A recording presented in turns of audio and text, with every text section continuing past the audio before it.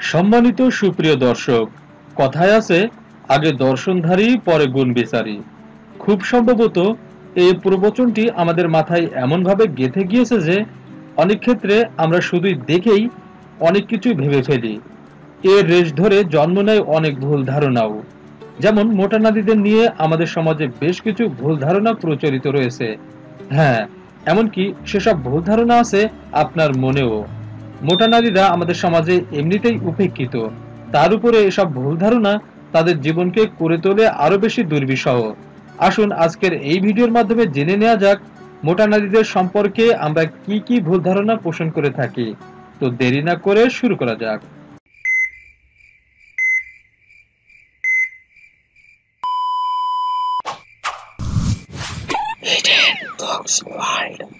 Number one আমরা সবাই মনে করি মোটা নারীদের যৌন জীবন সুখের হয় না। যৌনতা আমাদের সমাজে খুবই রাগঢাকের ব্যাপার হলেও এ নিয়ে কৌতূহলের শেষ নেই। শেষ নেই এ নিয়ে জল্পনা কল্পনারও। এরই মাঝে একটা হলো মোটা নারীদের যৌন জীবন নিয়ে প্রচলিত ভুল ধারণা। কোনো এক বিচিত্র কারণে প্রায় বেশিরভাগ মানুষেরই এই ধারণা যে মোটা নারীদের যৌন জীবন সুখের হয় না। অথচ এটা একটা ভুল ধারণা।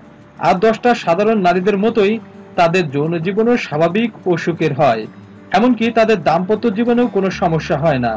বরং এক গবেষণায় দেখা গেছে, চিকন নারীর থেকে মোটা নারীর যৌন জীবন সুখের হয় বেশি। নাম্বার টু, মোটা নারীদের বুদ্ধিও মোটা হয়। আমাদের সমাজে এই ধারণাটা একেবারে বদ্ধমূল যে, মোটা নারীদের বুদ্ধি কম থাকে, অথচ বুদ্ধি মোটেও শারীরিক গঠনের উপর নির্ভরশীল নয়। একজন মানুষের বুদ্ধিবৃত্তি তার মস্তিষ্কের গঠনের উপর নির্ভরশীল। তাই মোটা নারীদের বুদ্ধিও মোটা হবে, এটা সম্পূর্ণ ভিত্তিহীন ধারণা। নাম্বার থ্রি মোটা নারীরা বেশি খায়।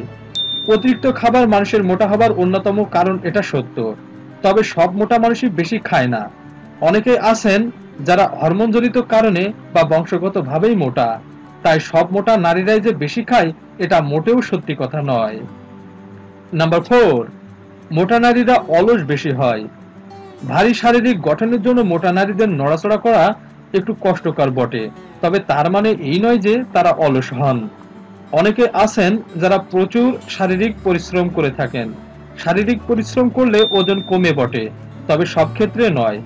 যারা হরমোনের সমস্যার কারণে মোটা হয়ে যান, তাদের কায়িক পরিশ্রম করেও ওজন কমানো বেশ কঠিন। ফলে তারা কাজ করলেও শারীরিক গঠনের উপর খুব বেশি প্রভাব ফেলে না। তাই মোটা মাত্রেই যে অলস এই কথাটি একেবারেই ভুল ধারণা। নাম্বার ফাইভ মোটা নারীদের কেউ ভালোবাসেন না। সুন্দরের প্রতি মানুষের আকর্ষণ চিরদিনের।